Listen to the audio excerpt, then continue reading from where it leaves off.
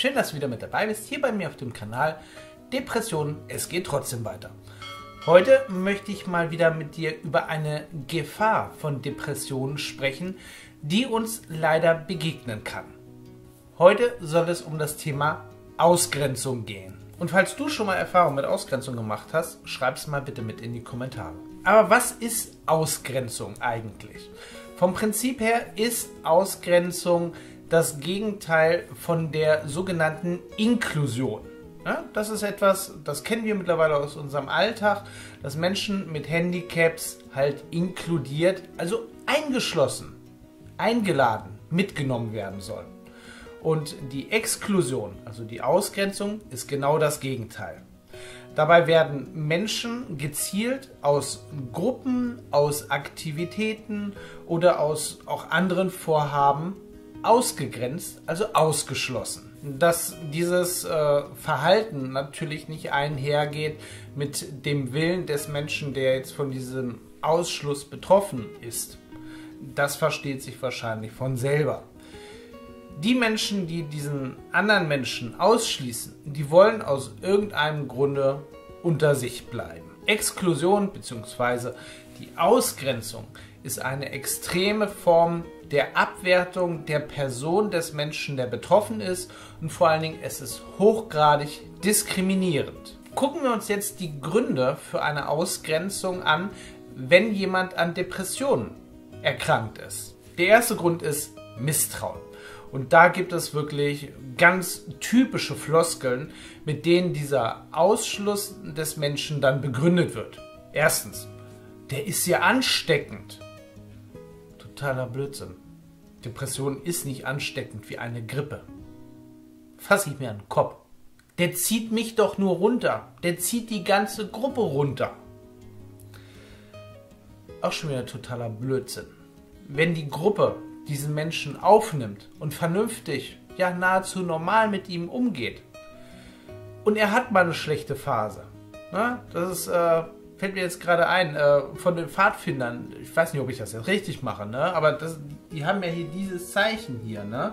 Und das heißt ja hier, der Große beschützt den Kleinen. So. Eine Gruppe kann diesen Menschen dann auch helfen. Der dritte Grund für Misstrauen. Der ist ja gefährlich. Depressive bringen sich ja alle um. Und die, die nehmen dann alle um sich herum mit. Kriege ich einen Knall, wenn ich sowas höre. Depressive Menschen sind für fremde Menschen nicht gefährlich. Und meistens auch nicht für sich selber. Na klar, es gibt diese ganz schlimmen Fälle, logisch, wo die Menschen ihr Leid nicht mehr ertragen können. Aber dann gefährden sie niemanden anders dabei. Also das sind schon wieder so, so Gründe, ne, die ich zum Teil auch selber miterlebt habe, wo ich sage, das, das geht gar nicht, an Menschen wegen solchen blödsinnigen Misstrauen auszugrenzen. Der zweite Grund, warum Menschen mit Depressionen oft ausgegrenzt werden, ist Reputation. Gucken wir doch mal in die Bundesliga. Da sind psychische Krankheiten total tabu. Und sobald ein Spieler über seine Krankheit spricht, ist der ganz schnell weg vom Fenster. Und der kommt auch nie wieder. Also genauso in Betrieben.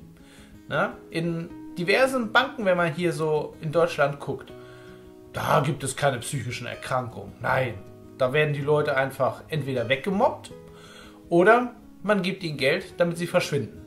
Damit in dieser Bank auf gar keinen Fall irgendetwas Negatives nach außen dringt.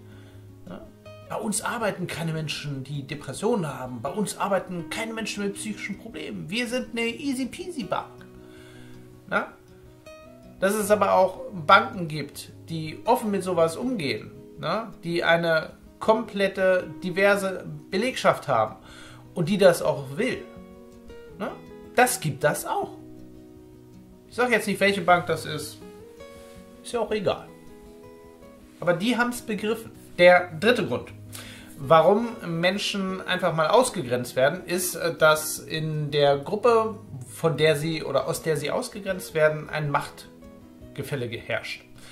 Und zwar wollen dann halt diese anderen Menschen, die da eine Vormachtstellung haben, diese anderen Menschen, die halt Depressionen haben, einfach ausgrenzen, weil sie es einfach können.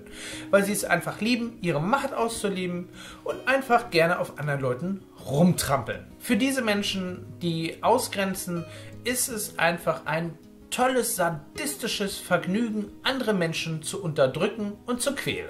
Mein persönliches Fazit zum Thema Ausgrenzung ist, wenn man mich irgendwo nicht haben will, dann haben die Leute mich auch nicht verdient. Das ist aber eine Einstellung, die muss man lernen. Mir ist es mittlerweile total egal. Wenn man mich irgendwo nicht haben will, pff, dann gehe ich. Ja, egal.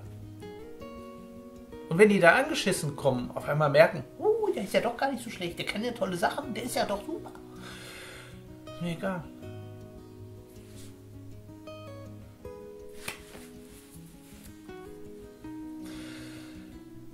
Versucht diese Einstellung zu bekommen. Wenn ihr irgendwo nicht gewollt seid, dann geht. Das ist das, was ich euch mit als kurzes auf den Weg geben kann. Und ansonsten freue ich mich, dass ihr wieder mit dabei wart. Passt gut auf euch auf. Bis nächste Woche. Euer MK.